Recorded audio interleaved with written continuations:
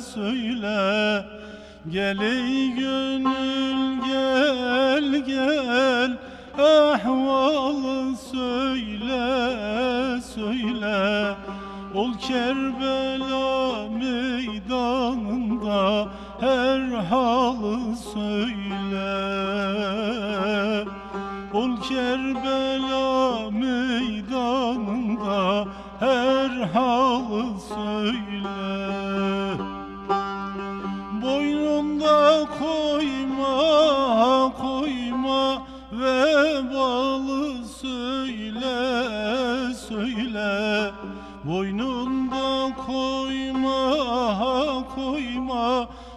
vebalı söyle söyle. Kana bu yanmış bu yanmış. Nazlı Hüseyin'im.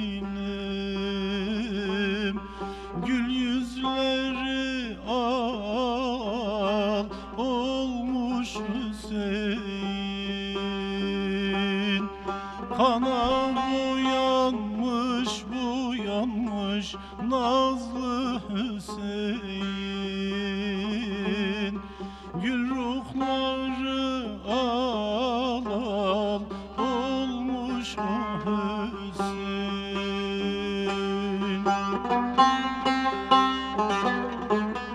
Yağmaya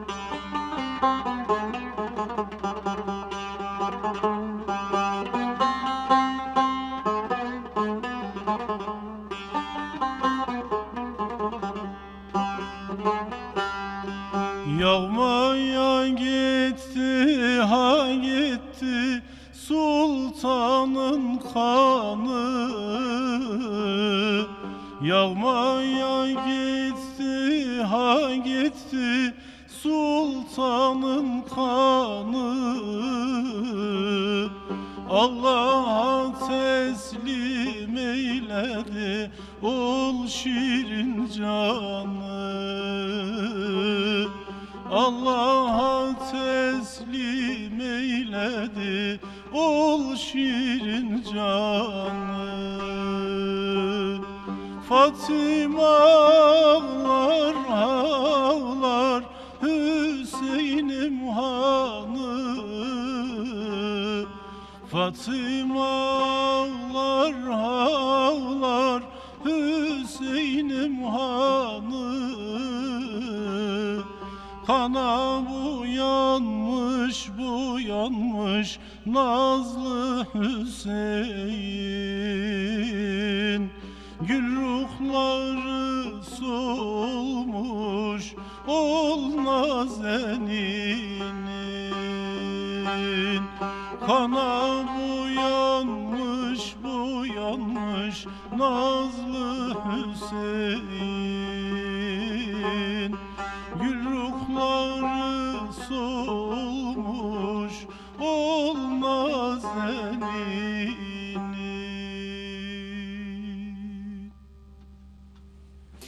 Those were the sounds of the Şanlıurfa State Turkish Music Choir and two of its members, Bakir Karadağlı and Mercan Özkan, playing Gel El Gönül Gel Ahvali Söyle. Oh my heart, come tell me how I am. They are like us, here to take part in Konya's Mystic Music Festival. This city has hosted numerous civilizations, including Romans, Sassanites, Persians, and Byzantines. Each left a lasting cultural imprint on Konya, including a rich musical heritage, which can be heard reverberating from various venues across the city. On today's edition of Showcase, we're going to meet a few of the makers of those spiritually infused sounds, as well as some of the pilgrims who flock here to bask in their essence.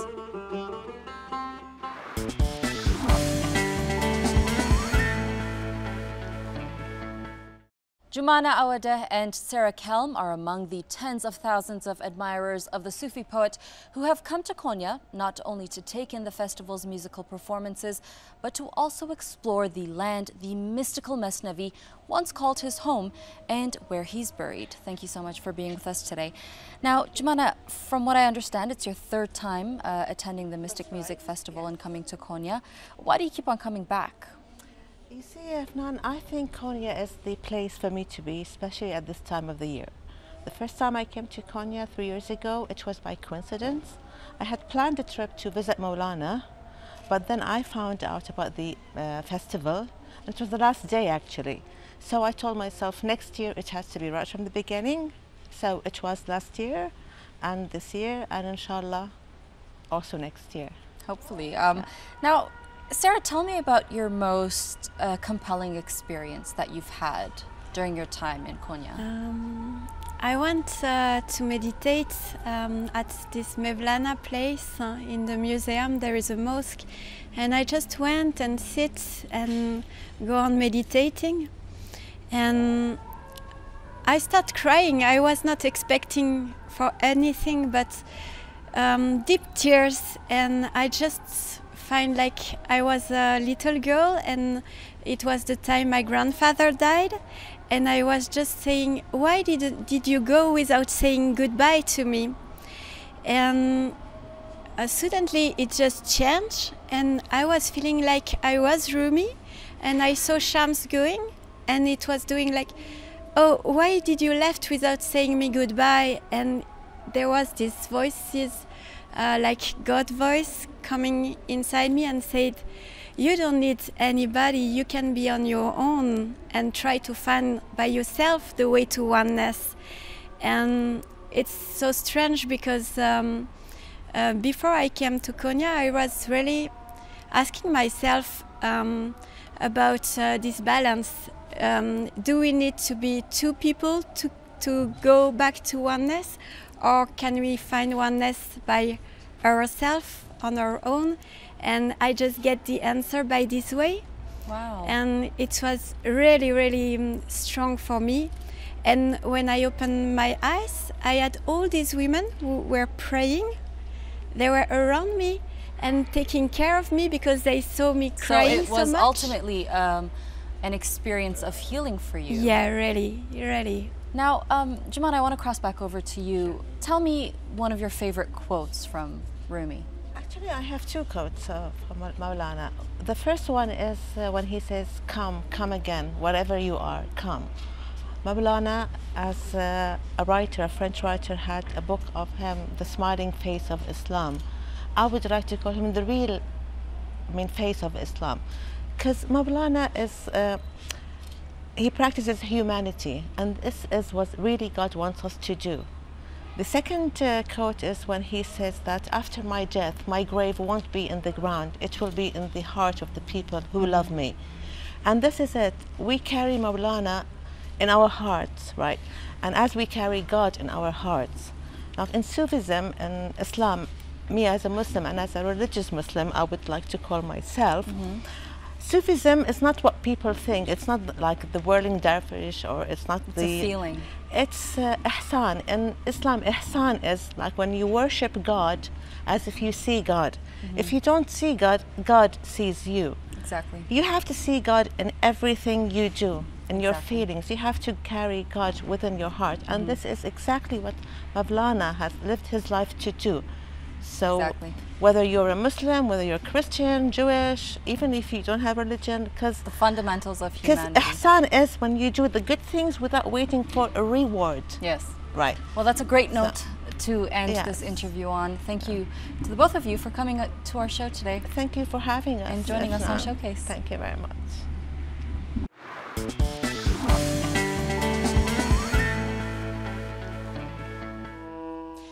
Mevlana Jalaluddin Rumi not only penned poems, he also wrote music and played an instrument called the rebab, which he described as the doorway to spiritual enlightenment.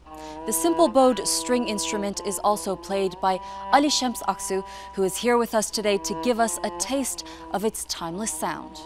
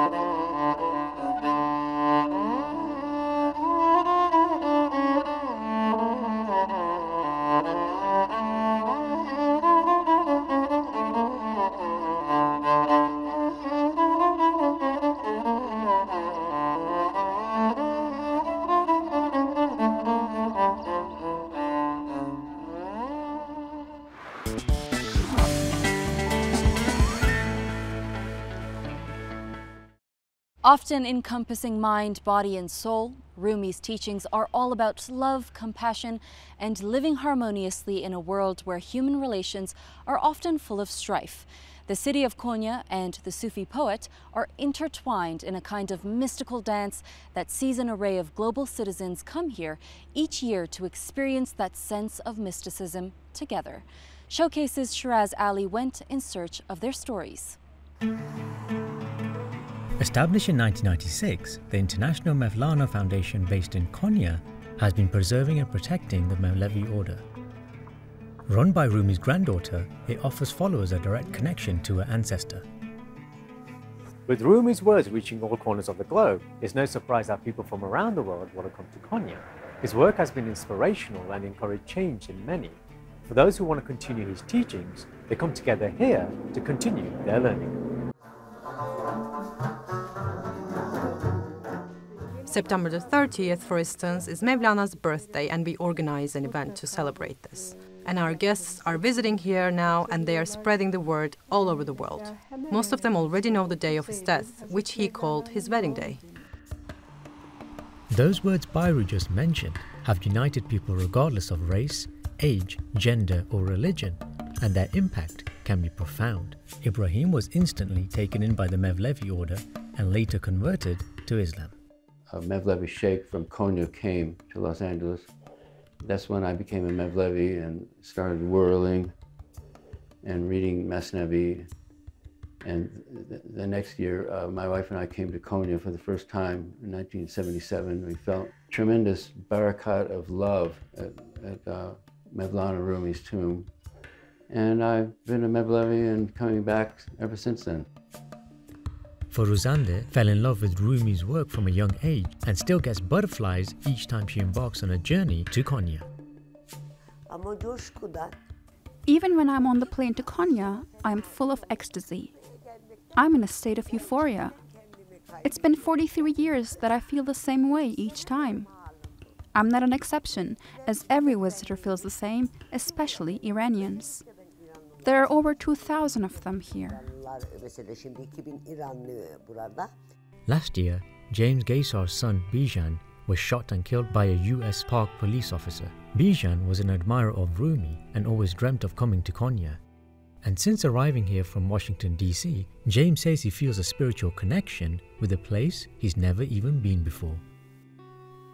in my experience of last 48 hours I've been here. And the random messages that I have received, the attention that I got, and the connection I think I got with Rumi was somehow I feel I was guided by him to be here and experience what I'm experiencing. I didn't believe that. I truly believe now. There are ways that he communicates um, that I mean, I can witness for myself. You only have to be here in Konya to easily see the effects Rumi's teachings have on people. How his words transcend race, religion, and geographic borders, and how his teachings of tolerance, patience, and kindness are what brings people here each year and unites them even after they return home. Shiraz Ali, TRT World, Konya. And with that, we wrap up our time here at Konya's Mystic Music Festival. You can head to our YouTube channel for more from the world of the arts and culture. But before we leave, let's hear once again from Bakir Karadağlı and Mercan Özkan from the Şanlıurfa State Turkish Music Choir. This time he will play for us Ya Bülbül Güle Kon Dikene Konma. O Nightingale, do not land on a thorn, but land on a rose. I'm Efnan Han, and on behalf of the showcase team here in Konya, thanks for watching. Bye for now.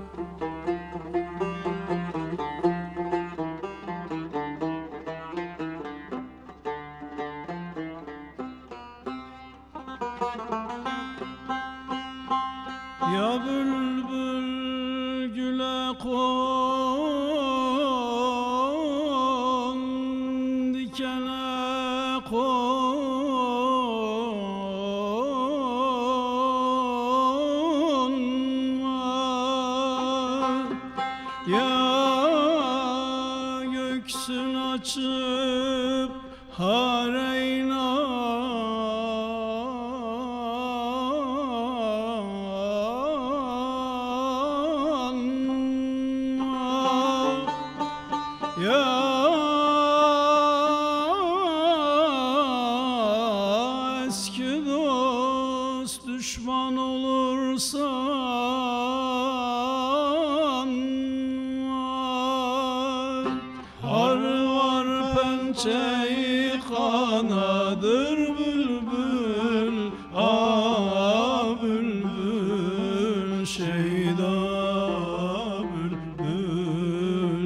bülbül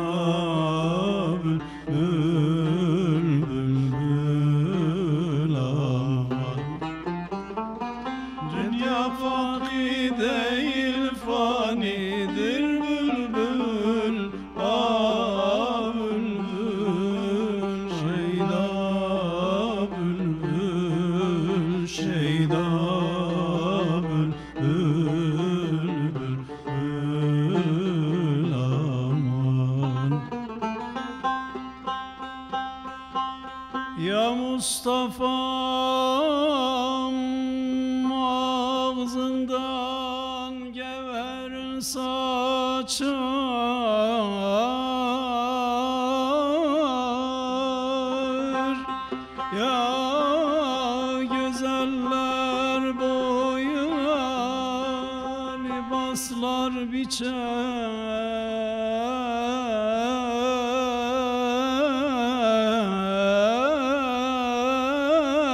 Dost Ya geçer